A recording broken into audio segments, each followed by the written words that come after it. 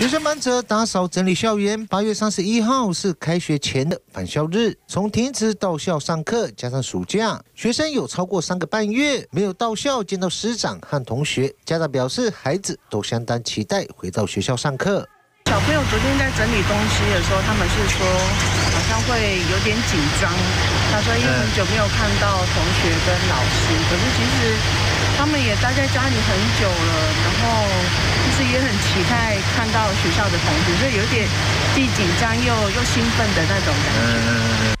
三十一号是到国小返校日跟新生训练。五月期间，因因疫情爆发，暂时停止到校，改由视讯上课。虽然现在疫情渐缓，学校在防疫上也不敢马虎，所有教职员已全数施打过第一剂疫苗，也严格控管进出校园的所有人士。家长也安心的让孩子上学。